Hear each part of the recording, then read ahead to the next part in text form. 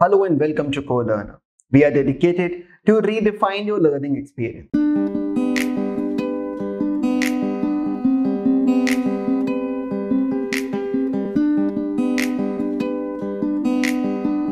Macroeconomics की इस पूरी सीरीज़ के अंदर आज मैं आपसे एक नए चैप्टर पे बात शुरू करूँगा चैप्टर का नाम है शॉर्ट रन इक्विलिब्रियम एनालिसिस जैसे मैंने आपको हमारी पिछली वीडियोस में बताया था कि अगर आपको एंड इट्स कंपोनेंट्स नहीं आता है तो आपको आने वाला चैप्टर समझ नहीं आएगा। तो अगर अभी तक आपने एग्रीगेट डिमांड की वीडियो नहीं देखी है तो प्लीज़ पहले उसको जाकर देख लीजिए। उसके बाद ही आपको टॉपिक समझ आना शुरू होगा। तो चलिए, आज के इस टॉपिक में बात शुरू करते हैं। हमारे वीडियो का जो पहली बात आती है, वो आती है शॉर्ट रन इक्विलिब्रियम आउटपुट के ऊपर। सबसे पहले तो मुझे शॉर्ट रन इक्विलिब्रियम का मतलब समझना है। इक्विलिब्रियम का मतलब तो हम लोग को पता है। इक्विलिब्रियम का मतलब स्टेट ऑफ़ बैलेंस इकोनॉमिक्स में जगह जगह इक्विलिब्रियम पढ़ाया जाता है पर मैक्रो में आपके ट्वेल्थ के कोर्स में आपको सिर्फ़ शॉर्ट रन इक्विलिब्रियम एक इकलौता ऐसा इक्विलिब्रियम है जो आपको पढ़ाया जाता है। तो आखिर ये शॉर्ट रन इक्विलिब्रियम आउटपुट दिया किसने? ये दिया है कीन्स ने। तो according to Keynes short run क्या है? एक ऐसा पीरियड ऑफ़ टाइम है जिसमें लेवल ऑफ़ आउटपुट जो है, वो डिफाइन होगा by the level of employment मतलब कीन्स ने यहाँ पर ये बोला अपने इक्विलिब्रियम में कि अगर हम लोग किसी भी इकोनॉमी का लेवल ऑफ़ आउटपुट जानना चाहते हैं, अगर हम किसी भी इकोनॉमी के लेवल ऑफ़ आउटपुट पे बात करना चाहते हैं तो हम लोगों को उसके लेवल ऑफ़ एम्प्लॉयमेंट को जज करना पड़ेगा। अब इस बात का मतलब क्या निकलता है? इस बात का मतलब ये निकलता है कि अगर आप किसी भी इकोनॉमी में ये देखते हो कि एम्प्लॉयमेंट लेवल किसी भी देश में अगर एम्प्लॉयमेंट लेवल ज़्यादा है, अगर एम्प्लॉयमेंट लेवल ज़्यादा है तो इसका मतलब है आउटपुट लेवल भी ज़्यादा होगा। मतलब अगर रिसोर्सेस क्योंकि एम्प्लॉयमेंट लेवल सिर्फ़ ह्यूमन का नहीं बोला जा रहा है, यहाँ पर एम्प्लॉयमेंट लेवल सारे रिसोर्सेस के बारे में बात हो रही है। तो अगर उस इकोनॉमी के अंदर ज़्यादा एम्प्लॉयमेंट लेवल है रिसोर्सेस का रिसोर्सेज ज़्यादा स्पीड में यूज़ हो रहे हैं तो मतलब आउटपुट लेवल भी ज़्यादा ही निकल रहा होगा।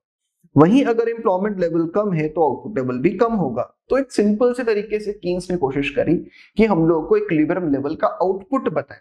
ध्यान रखिए, अभी हमने इक्विलिब्रियम कैसे निकाला जाता है, इसके बारे में बात नहीं करी। अभी हम बात किसके बारे में कर रहे हैं कि इक्विलिब्रियम लेवल का आउटपुट कैसे निकाला जा सकता है।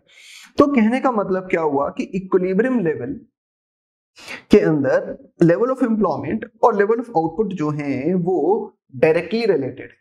एक बढ़ेगा तो दूसरा भी बढ़ेगा और एक कम होगा तो दूसरा भी कम होगा। बट ये जो डायरेक्ट रिलेशन है, ये कैसे शुरू होता है? ये एम्प्लॉयमेंट से आउटपुट की तरफ़ जाता है।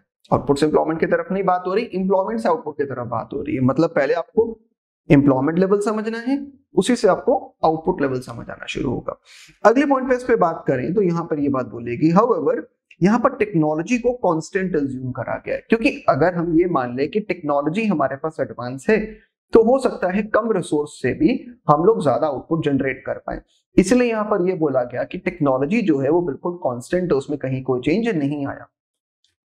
Hence equilibrium level of output का मतलब होता है इक्विलिब्रियम लेवल ऑफ़ एम्प्लॉयमेंट तो अगर मुझे अब समझना क्या पड़ेगा? मुझे समझना ये पड़ेगा कि मेरे लिए ये इक्विलिब्रियम लेवल ऑफ़ आउटपुट का कंसेप्ट आखिर बोलता क्या है? क्या है ये इक्विलिब्रियम लेवल ऑफ़ आउटपुट का concept equilibrium level of output का पर मतलब होता है? Level of output when aggregate supply is equals to aggregate demand ये क्या कहता है? जब ए एस ए डी के बराबर होगा तो हम लोग कह सकते हैं कि हमारा इक्विलिब्रियम लेवल ऑफ़ आउटपुट हम लोग को अचीव हो गया।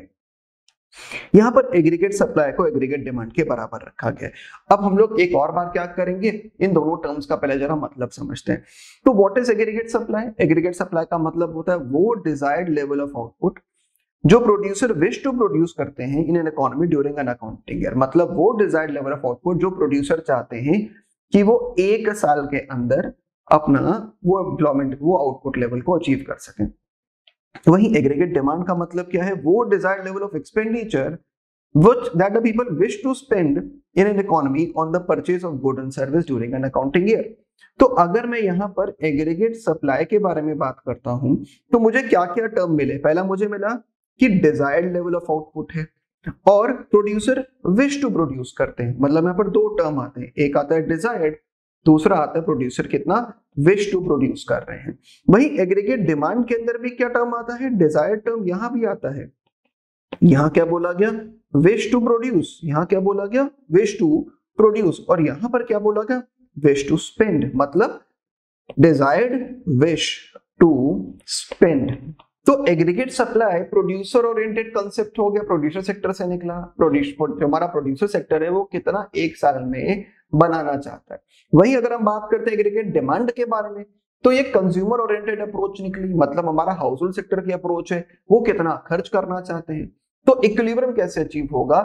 जितना प्रोडक्शन सेक्टर ने बनाया दैट इज़ एग्रीगेट सप्लाई उतना ही कंज्यूमर सेक्टर हमारा हाउस होल्ड सेक्टर खरीद ले। दैट इज़ एग्रीगेट डिमांड तो अगर जितना बना, उतना ही खरीद लिया जाएगा तो इकोनॉमी इक्विलिब्रियम पे पहुँच जाएगी। बात समझ आई? जितना बना, अगर उतना ही खरीद लिया जाएगा तो इकोनॉमी इक्विलिब्रियम पे पहुँच जाएगी।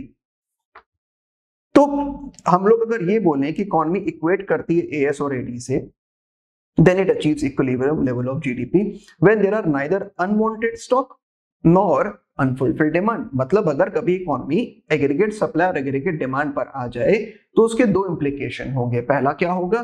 कि ना ही कोई अनवांटेड स्टॉक होगा, कोई अनवांटेड स्टॉक भी नहीं होगा, कोई अनफुलफिल्ड डिमांड भी नहीं होगी। अनवांटेड स्टॉक का मतलब क्या हो गया कि अगर मेरे पास प्रोड्यूसर्स ने ज़्यादा बना दिया और कंज्यूमर ने उतना नहीं खरीदा तो हमारे पास कुछ स्टॉक बच जाएगा, जिसे हम लोग बुलाएँगे अनफुलफिल्ड स्टॉक अनवांटेड स्टॉक वहीं अगर हम ये बोलते हैं कि कंज्यूमर्स ने मांगा और प्रोड्यूसर उसको दे ना पाया तो उसका मतलब क्या है? अनफुलफिल्ड डिमांड तो अगर ए एस और एडी बराबर है तो हम ये मान के चलते हैं कि ये दोनों चीज़ें नहीं हो रही होंगी। ना ही कोई अनफुलफिल्ड डिमांड होगी, ना ही कोई अनवांटेड स्टॉक होगा।